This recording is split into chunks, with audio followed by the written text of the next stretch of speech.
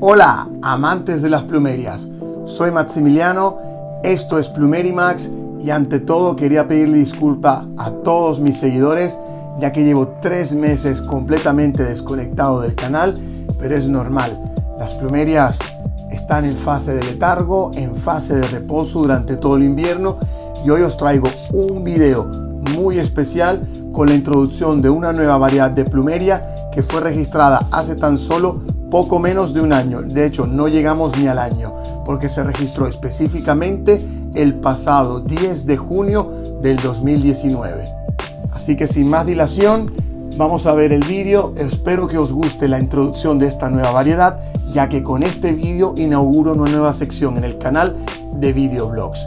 Pequeños vídeos muy cortos, muy directos, muy concisos, para poder explicar mi día a día y cosas curiosas que me voy encontrando con las maravillosas plumerias.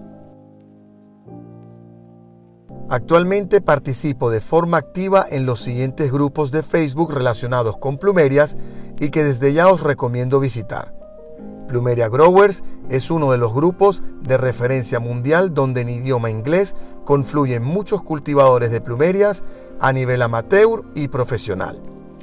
Un día recibí un mensaje privado de un miembro de este grupo llamado Mariano Randazzo, un chico de origen italiano que para mi sorpresa era nada más y nada menos que la persona que registró en su día la plumeria Ubud Pink a través de la PSA, o por sus siglas, la Plumeria Society of America.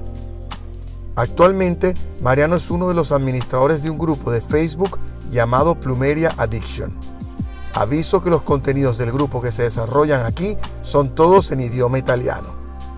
Tras varios mensajes de chats, intercambios de fotos y experiencias sobre nuestra pasión por las plumerias, se me ocurrió que sería interesante introducir para todos vosotros esta variedad.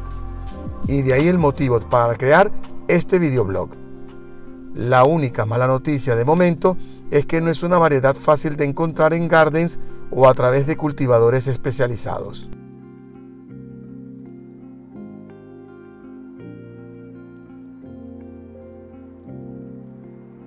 Lo que veis ahora mismo es un pequeño abreboca de cómo es la flor de esta variedad. Aprovecho para agradecer a Mariano por haberme enviado estas fotos.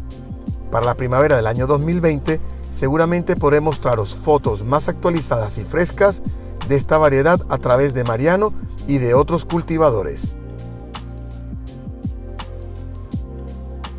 Muchos me habéis preguntado por correo o mensajes privados cómo se podría registrar una nueva variedad de plumeria incluso cómo se puede lograr crear un nuevo híbrido que dé como resultado una nueva variedad de flor. Pero recordemos que toda nueva flor o variedad se obtiene a través de semillas y es un proceso lento y complicado que os explicaré en un futuro vídeo para el canal.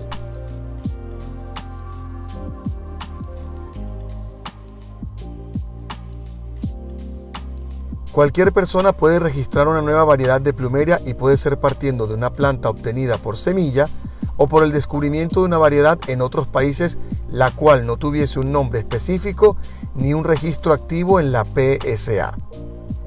Mariano Randazzo descubrió la Ubud Pink en un viaje que realizó a Bali en el año 2014. Un aldeano le regaló un par de esquejes y tras una profunda investigación y ver que ningún otro cultivador conocía esta variedad, decidió registrarla con ese nombre. Ubud Pink en honor a la ciudad de Ubud, donde descubrió esta flor, y pink en alusión al color rosa que predomina en ellas.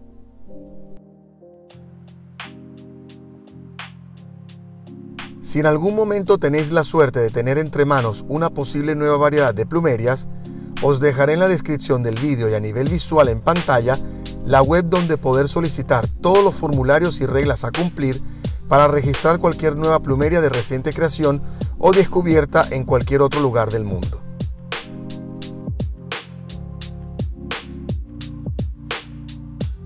Y bien amigos amantes de las plumerias, espero que os haya gustado este videoblog. Por favor deja un like y no olvides suscribirte a mi canal para que YouTube te notifique cuando suba un nuevo vídeo. Como siempre os deseo, salud para todos.